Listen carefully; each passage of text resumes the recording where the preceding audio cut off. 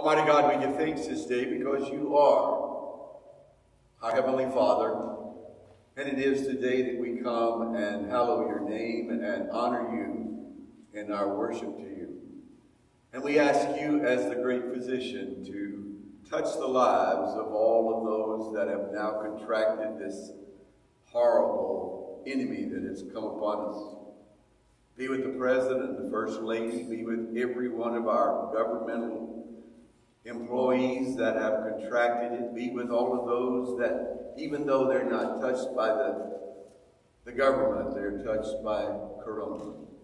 It's a tough enemy, and we need your strength and your power and your glory to walk us through this valley of the virus. So be with us now as we put our hearts and minds together and worship you this day. Amen.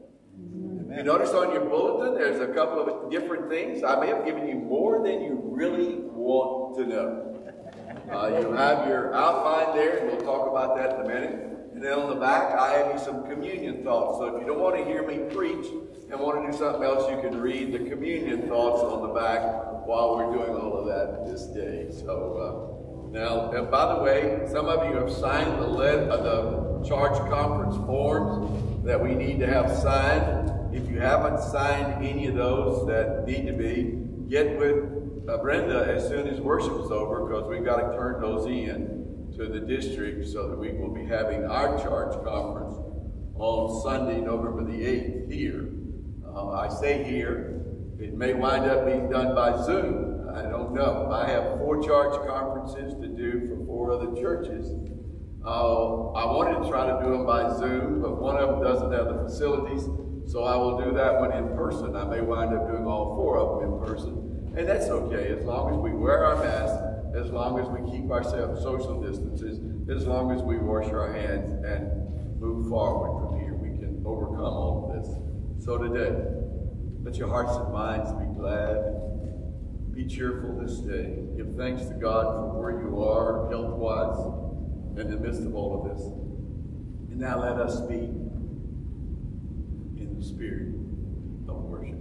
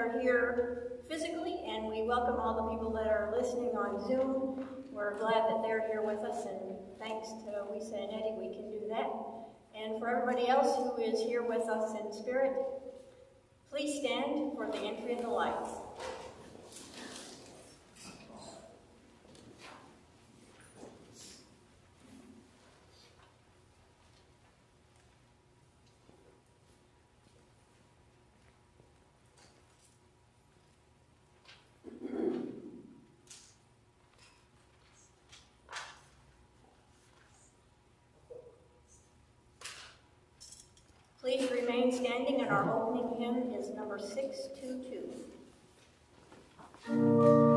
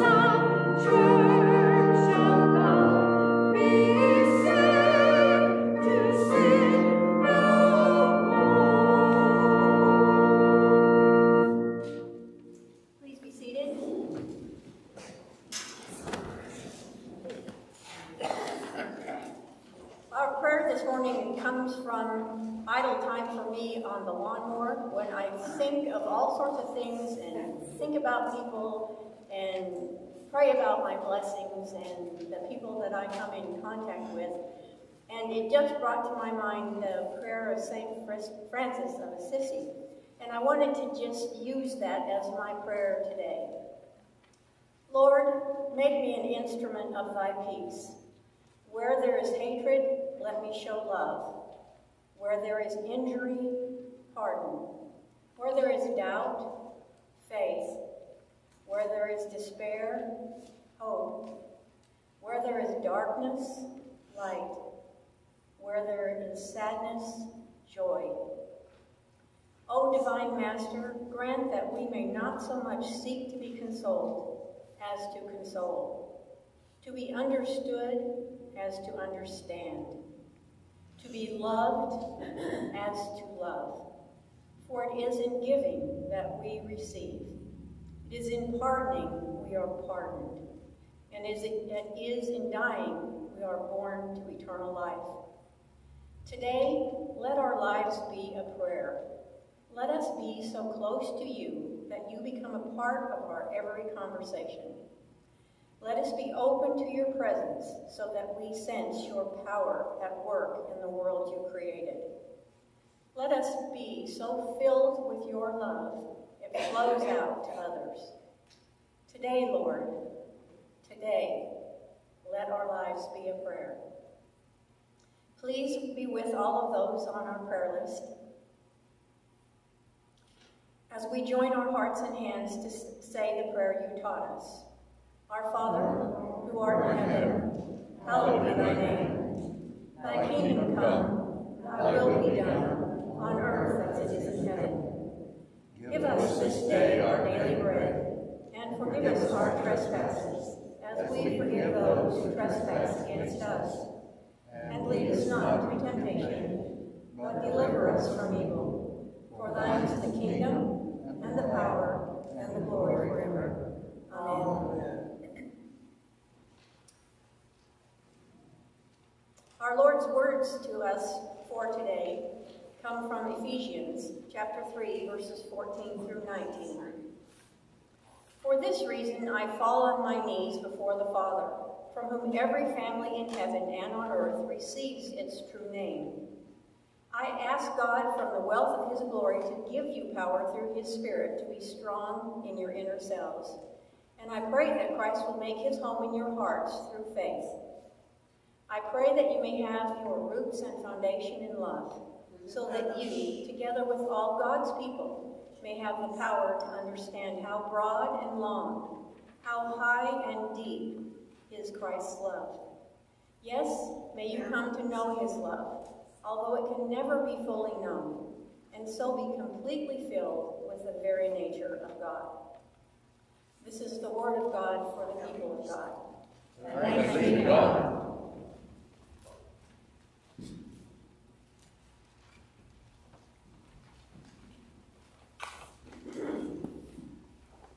I know you probably have thoughts as to why I chose for us to venture into 40 days of prayer.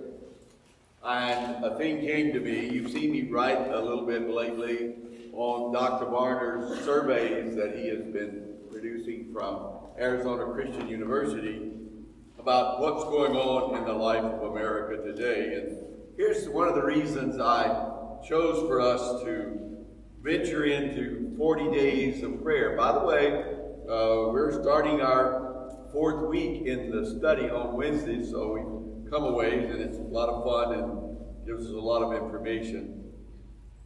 But Dr. Barna's survey has shown something that frightens us to no end. We need to be in prayer over what transpired. In his survey, you won't believe this, but a majority of Americans no longer subscribe to the historic understanding of truth. They have ventured out in a new way. Out of his survey, six out of ten Americans today identify moral truth is up to each individual. And there is no moral absolutes that apply to every person all the time. When you think of that and you wonder about, wow, what's going on in our world today in this post uh, modernism that we're in, well, I want you to think, let it sink in your mind just for a moment that six out of ten Americans think that they make up their own moral truth. Now, that sort of makes me think maybe the Ten Commandments are maybe the Ten Suggestions. Uh, no longer is it uh, honor your father and your mother. No longer, do, you know, do you do you not lie, do not steal, do not murder, do not commit adultery, as mere suggestions to us. And I have another thought in that. Does that mean that some people today might be perfectly entitled to believe that thief and murder and rape and uh, things along those lines is personal truth. You can do it if you wish. So that's one of the reasons. I wanted us to think about our inner certainty in our life. And so I was thinking along these lines, and that's one of the reasons I have suggested for us to do this 40 days of prayer. Because there's something that we keep forgetting at times of what our forefathers brought forth to us, and it says, We hold these truths to be self evident that all men are created equal, they, that they are endowed by their Creator with certain unalienable rights, that among these are life, liberty, and the pursuit of happiness deriving their powers from the consent of the government, and that the government becomes destructive at this at its end if it doesn't do these things. So I got us to wondering about let us pray in the fifth dimension. So what is the fifth dimension? How many of you remember the fifth dimension? You remember Aquarius? You heard that song, right? There's that group called the fifth dimension. Well, fifth dimension really and truly is a mathematical situation in life that you and I may know about if you were in mathematics as I was, and in calculus along those lines, as our daughter is today and still teaching that. But I got to thinking about the fifth dimension. When you heard read a while ago, it said by the width and the depth and the height of what God was doing, that was four sides of the thing, right? Well, we're looking here today. If you'll take out your outline that I have there for you, and we'll look at this today. It is full. I'm not going to go through all of that because we, it's left up to you to do some deciphering yourselves.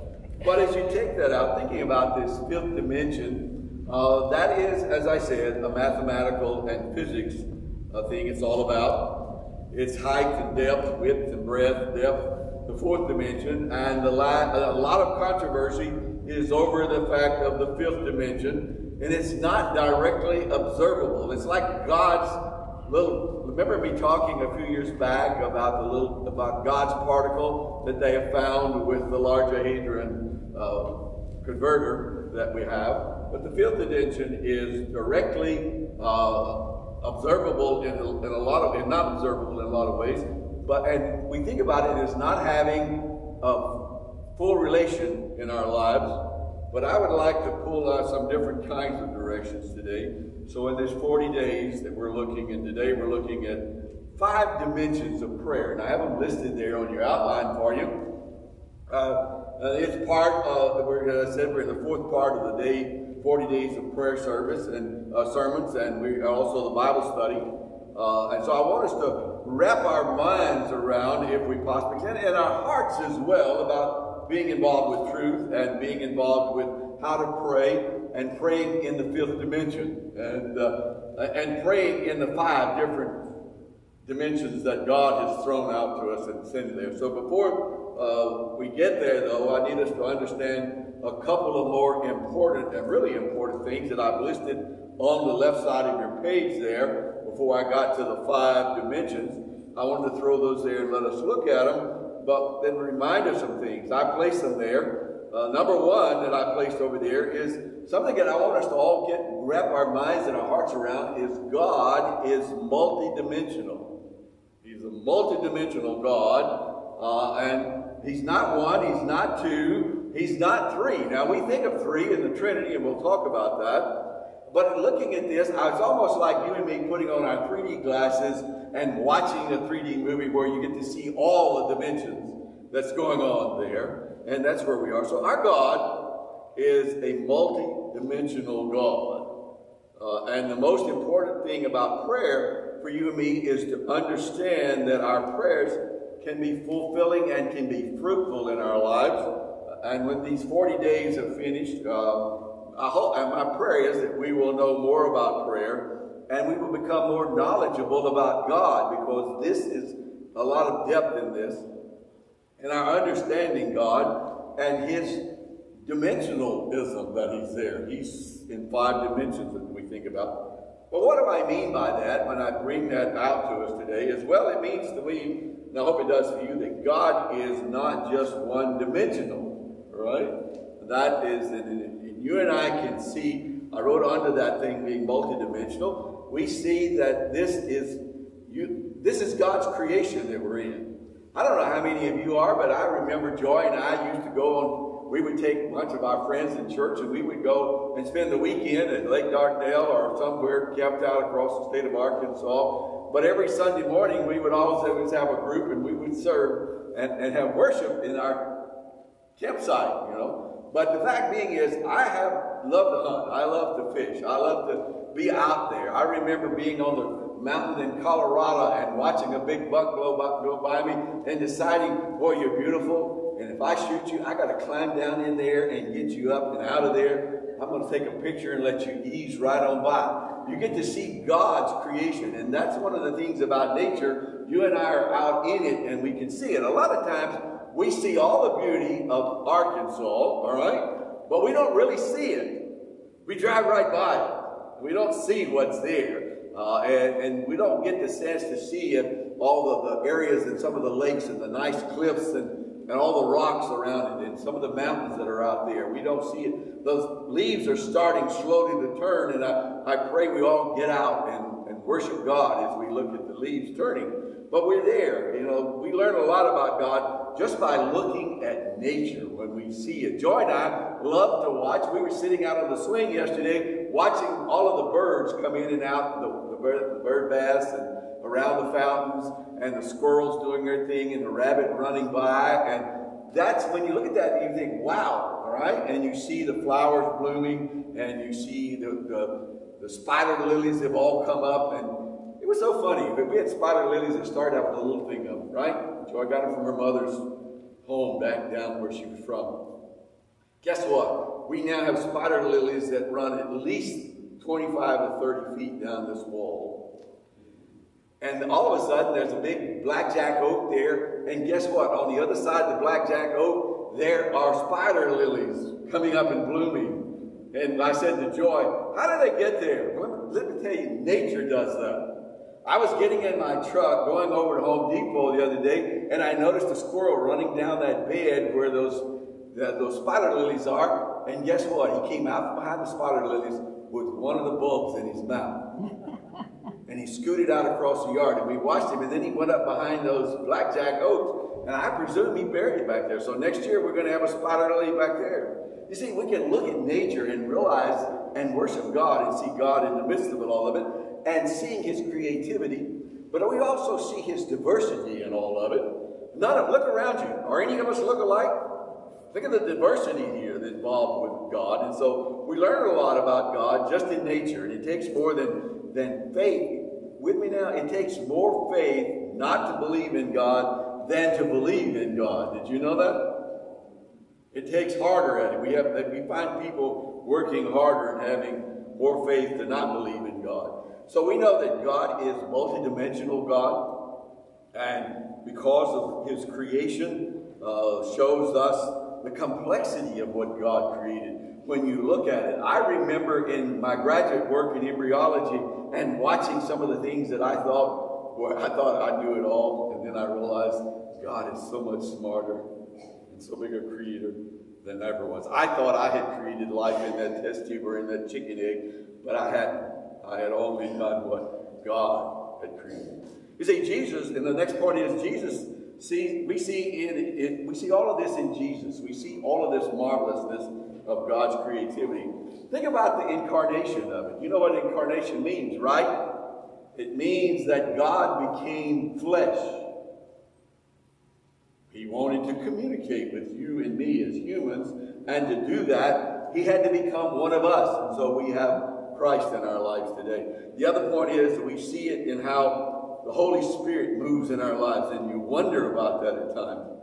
I've had people say to me this week some things I cannot understand. The president said, I'm where I am today because of the miracles of God. I thought that was great and interesting to think about. Well, you and I are where we are because the Holy Spirit dwells within us. The Trinity is within us. We're there. We have within us the Father, God the Father, God the Son, and God the Holy Spirit. And it's not just a, a revelation but we understand it, uh, that it is such thing that that second point I put there for you is we understand God is multidimensional. And one of these things is I want us to understand you and I will never, ever be alone. That's the marvelous thing that we're finding out in this 40 days of prayer as we look at this. He is in every dimension at the same time. He's in all of them. And he's in the past, he's in the present, he's in the future, here and there, in heaven, on earth, uh, in the spirit of the world. He's in all of these, in all the dimensions of it. And he is yours, he's in your world and he's in my world. Of course, we don't always recognize him as being there unless we stop and think on him and say, Yes, Lord, I realize you are here. And that's what we have to get to. Every dimension all the time in our lives, God is in it. He's in us. He's above us. He's around us. He's a one multi-dimensional God. So, and for a few moments, let's get practical. And I gave you the steps on the, on the right side of the page is this. And you and I will actually practice them in communion today. That's why you have communion note uh, thoughts written on there for you today because it all sort of blends to be together. The first dimension is look backwards to the cross. In other words, that's where we do look. We look back to it uh, and, and, and not start with our problems. In other words, one of the things we're learning in study on, on Wednesdays about prayer is we have to honor God before we even get to any part that we're wanting to bring our problems forward. So don't start our prayers with our problems.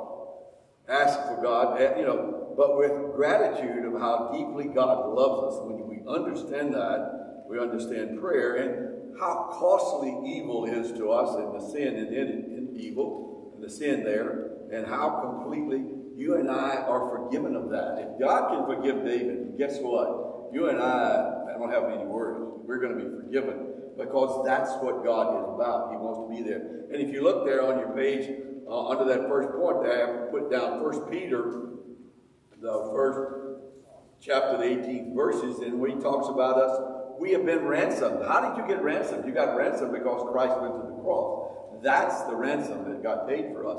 And so we have this. So uh, how much and how much are you and I worth? When you think about when somebody ransomed us, what are you worth? Like when they get kidnappings and these people send a ransom note and say this, we want this much money. What would be in your mind? How much you would God ransom you? Well, he gave his life. That's the greatest one I can imagine. Think about it. He did what you and I could not do for ourselves. He ransomed us from our sins.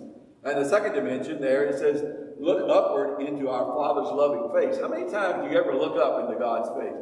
I, I you know, we look at all the times when we pray, we always bow our heads to pray. Well, I hate to tell you this, but I'm out in the yard or I'm out in the woods or I'm out, I'm looking up at God and I'm praying to God. I want to see His face. And guess where I see his face? I see it right here. I see it in all of your faces. And that's what we need to be looking for. Do we see God in all the faces that we see? The way we see God will control our lives. That's how that's important for us to think about this. And then to control our lives more than any other thing in our lives. How we think of God and see God's will. So what you and I call God sets the tone of our prayers. In other words, our prayers and our tone of our prayers is set by God in how we look at God and understand what God is in our lives today. Romans passage I printed there gives us three important points about it. what we need to learn and memorize and never forget. Those are things listed there on your on your outline. And those God and our prayers, I gave you three ways of looking at that. We wants our prayers to be personal. That's why we call him Abba. Call him Daddy. We call him Father. That's personal. We get close to that way. And we, we're, we're passionate. How many times have you just cried out, Oh God, help me? You know, we've been there, and that's that becomes passionate. And then there's that partnership that I have listed there, and that deals with us partnering with the Holy Spirit that's indwelling in us, and it's where we are, thinking along those lines. And then that third dimension, uh, looking look inward to Jesus living inside of each of us. Do you realize he's there?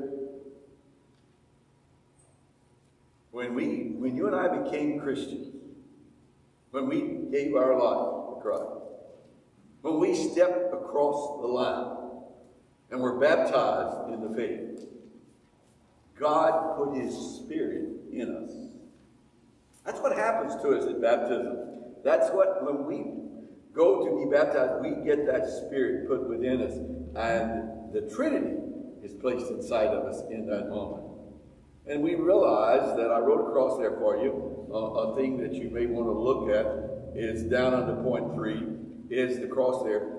This can be our prayer. Jesus, produce the fruit of your spirit in me today. In other words, we all know about Galatians 5.23. We know about the spirit, the fruit of the spirit.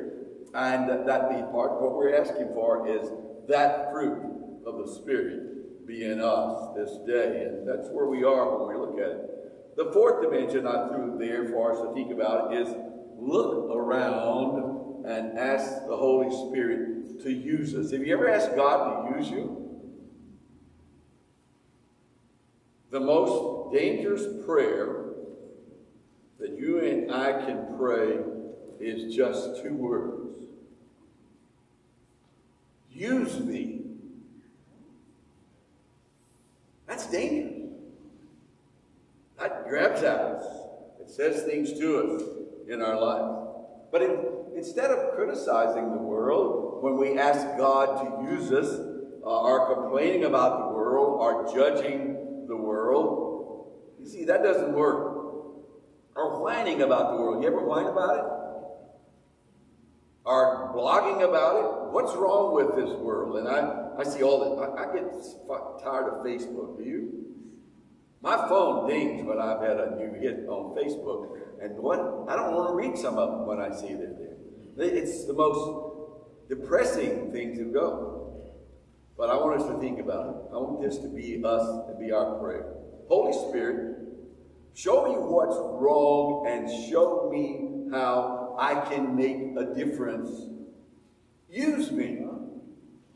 And that's what this is about. That's what Jesus came about. That's what God is saying to us and putting the Holy Spirit in, is use us. And so I, I dare you to pray that prayer. Uh, and, and, and that's the fourth dimension of the prayer. That's that part where you and I have not really given it a lot of thought. But we're called to do as Romans 16, 13, uh, 613 I put there for you is instructs us to do. Uh, and there under the fourth item is that give yourself completely to God. That's tough, isn't it? I mean, give up every part of you to God. I would love to give him up some more part of me, all right? But you know what he said when I said that? He says, in my time. And I said, yes, in your time. See, that's what we're about, is God use me and show me where I want to be. And I'm going to say, God, I want to do this. And God says, in my time. And that's what we have to grasp it around, our minds around it and think about. So when you and I look at that fifth dimension, that's that dimension that in math that we never see, but we know it's there. Let's look forward to the future. Far in, in faith? Let our future be in faith. I don't know how you are in the midst of this valley of the virus that we've been going through, but my one prayer and my one faith is God is going to take us through this and bring us out on the other side. He's going to give us a pathway to walk. It's sort of like the old joke about all the things in they saying when the guy got up and said, I got to go over here, and the guy said, What are you going to do? So I'm just going to walk over there. And he was from duck in the duck line, and he got up and he walked across the water and went over where he had to go and do his thing. And he came back, and the guy said, How'd you do that? And he said, You got to know where the stones are. And so that's where we are. That's what God is saying to and me. Do you know where the stones are? Do you know where to step? Do you know how to walk in this fifth dimension that it's there? And so God wants to hear where we are. We, we want us to look within ourselves, want us to look forward and all around ourselves, and look up more than anything else is look up and see God in our lives. You see, God wants to hear our plans. How many times do you do? I don't want to talk to God about my plans. One of the things that I love about this book that we're doing in the 40 days of prayer is it asks you all these things about in the back. And I don't know how you are, but I want to cover mine up and not let anybody see what I'm writing. What my plans are. And God says, open the book. And I said, yes, Lord. That's our plans. What are, open them up. Show them to God. Hold them up and be a part of it. Uh, what's our ideas? What's going to happen in our lives today? What's our and, and, what's our dreams? Where we are in our lives? And somebody says, "Well, why, look at your age." I said, "I can still dream." You know, I mean, I'm not gone from here yet. and I'm not through here yet, and so I can still dream and throw those dreams out, and God can help me with them or tell me not in His in this time. But you know, think about it. How many of you read self-help books? I've read self-help books from all around. When I was in the sales world, we had to be involved with that. And I've been to every Zig Ziglar type of, of production. I've been all of these rounds and all of Napoleon and all of them. We're listening to where we're going and being in all of these great suggestions. But the one thing that they all bring out something for us that says, what's one thing? You and I need a mastermind council. Did you know that? Every one of them. When you get to the bottom line, it means who's your counselor? What is your mastermind counsel in your life? And what better than you know? I got to thinking that's not a bad, not a bad idea. Can you imagine the Trinity being your mastermind counsel that's going to be involved in your life and you? Well, you see what God is wired us. You know, He created us, and He's in the midst of all our DNA. You didn't realize that, did you? He left a little bit of His DNA in all of us. And He has made us. And He wants us to accomplish things in our life. And what He wants us to be in life, you and I are already wired for it. Have you ever known the story? I'm not wired for that. Or you don't, are you not uh, to the level of what they told me one time in the service? You don't have a high enough clearance for that information, Marble. but you see, we're wired for it. God says, go for it in our life. And Philippians first chapter, six verses, I'm confident of this, that God who began a good work in you will continue to complete it. And look what it says, until it's finished on the day of Jesus Christ. That's the wonderful thing. So God has given us the tools to remember these five dimensions. And guess what that is? It's called the Lord's Supper. If you will look on the back of your, middle of your program back there, I've given you some thoughts. So now let us be in prayer. Almighty God, we give thanks this day. Thank you for directing us in our prayer life. Thank you for blessing us each day. Thank you for walking with us and showing us the steps and the right path and the directions to carry us through. We ask you now, as we create in our hearts and our minds the love for you that we will now share and do as you have taught us to do, to remember you in everything we do. And we're going to do it this day. Bless the elements as we pray.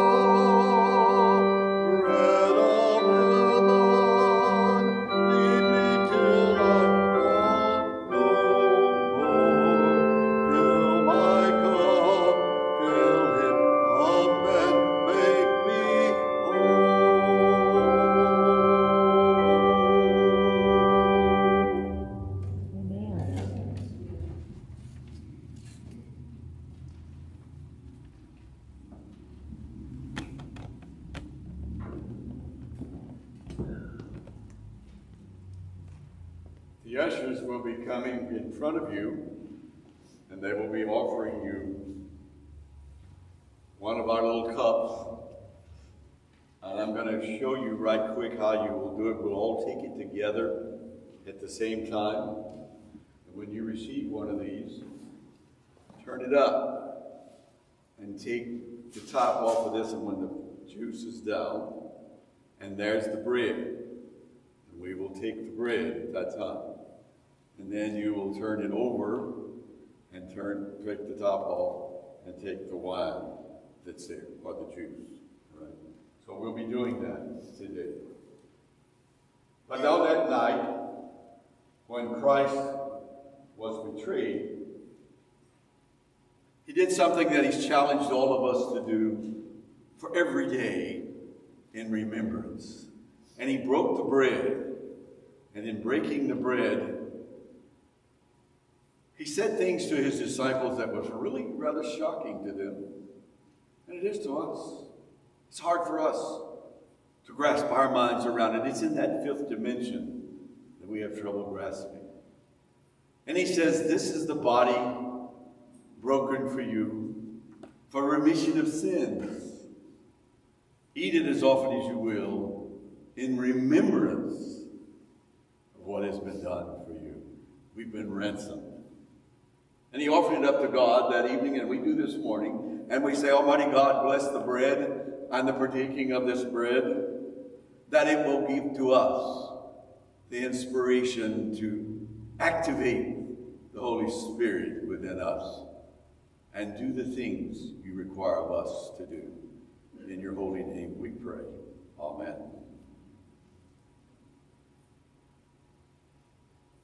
And then he took the cup, and when he'd filled the cup, he offered it up and said, This is the blood of the new covenant, which is shed for you for remission of sins and the gift of eternal life. This is a ransom. And he lifted it up in the midst of their wide-eyed concern and said, Father, this is the blood of my body, which is shed for many for the ransom of all the souls. Bless them, not my will, but yours. And God blessed it. And we bless it this day. Father, we give thanks for the ransom that your Son has done for us as we partake of this holy supper. In your holy name we pray. Amen. I ask the ushers to come.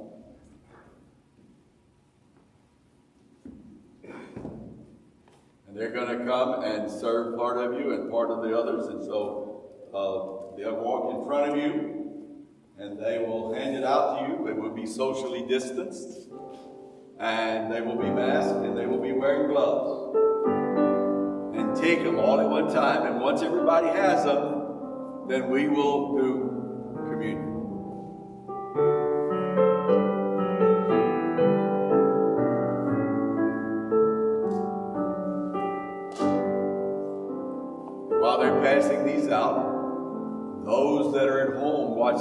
on television can have some juice and a piece of bread and join us in the communion this day.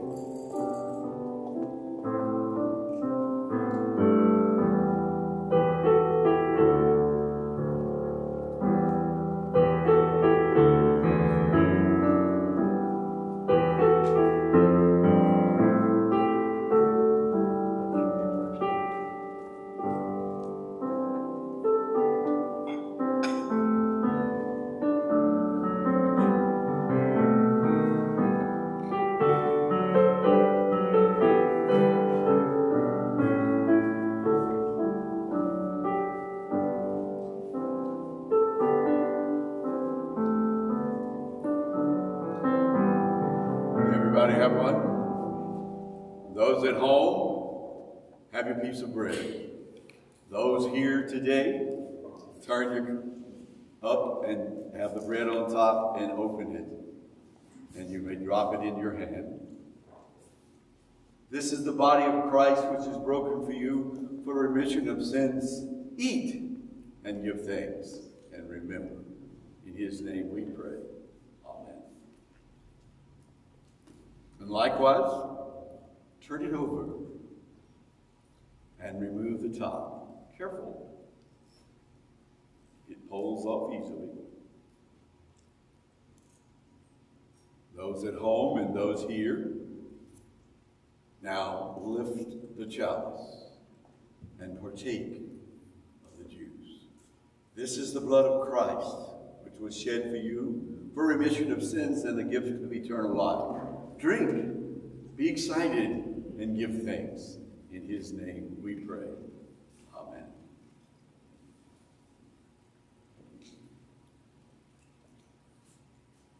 You may hand your used chalices to the ushers, or you may drop them in the trash on your way out. Let us now be in song, right? Let us sing.